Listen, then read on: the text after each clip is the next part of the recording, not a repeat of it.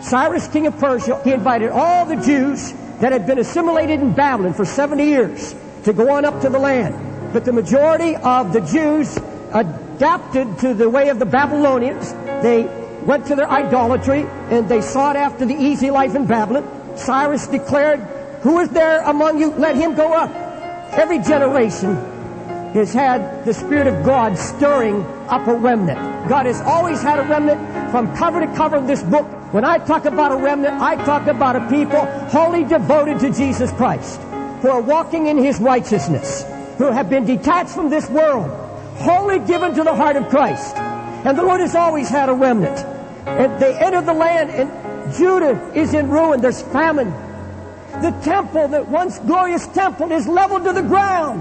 The walls are gone. The wells are dry. Total ruin. And can you just hear some of them say, We have been delivered from Babylon for this? There comes a time you have to get your eyes off the ruin and get your eyes on what God's eternal purpose is. But there comes a time you can't just preach about the ruins. You have to get out of that, quit talking about it, quit thinking about it, and get into the heart of Jesus about what He wants to do in building a new body.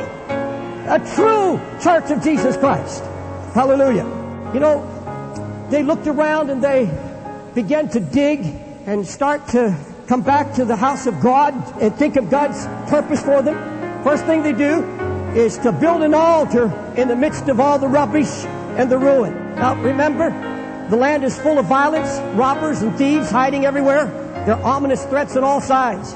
Ezra 3, verse 3. And they set up the altar upon his bases or the foundation. For fear was upon them because of the people of those countries, and they offered burnt offerings thereon unto the Lord, even burnt offerings morning and night. There was something happened. These people had been busy doing their own thing. And God says, No, I want to do something corporately. I want to do something with the body.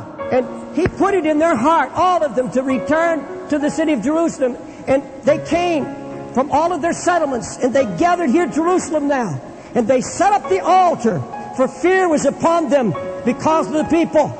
Drop everything and get to the altar was the cry of the Holy Ghost. Drop everything and get to the altar. Now, the altar, you know, represents the place where the Lord's presence is manifested. It's the assembly of true believers who corporately say, I give my body to you as a living sacrifice. Beloved, God cannot reach His eternal purpose if everybody's going out doing his own thing and not seeing the connection one with another. Those who have the same mind of Christ. He's trying to bring a people together who think the same way in Christ, who speak the same language, and it's all Christ. He's building a people on that. And he couldn't do anything. It continued to lie in ruin until they all came and there was a cry in their heart. Drop everything, get to the altar. God's not looking at buildings per se, physical buildings. He's looking at, at these bodies of ours. But when we get together in a true people who have a heart set on the Lord, they're tired of hype and entertainment and foolishness, and they want God to cleanse them and sanctify them, and they believe God's word that it's possible to live an overcoming life in these last days amidst all the ruin. But you see, it'll never happen until there's an attachment to this altar, until there's a willingness to build this altar. The surest evidence of being a part of the holy remnant in this last day, the surest evidence is this urgency to drop everything and go with God's people to the altar. This is the whole body. This is the altar. This is where the Lord's presence is manifested. He manifests through holy people, separated people. He manifests His presence. And what is the body of Jesus? It's you, it's me. We are the body of Christ and He's the head. We are the visible body of Christ on this. The only Christ anybody's going to see is what there is in you and me. It's the reflection of Jesus in us. We reflect His glory.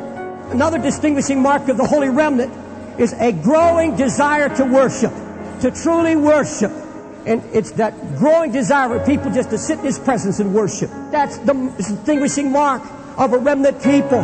They have this desire to worship. They don't want to come and just be spoon fed. They don't want to be entertained. They want to worship. They love the word and they tremble at it, but they want to lift their hands and their heart and they truly are worshipers. The remnant are worshipers. True worshipers.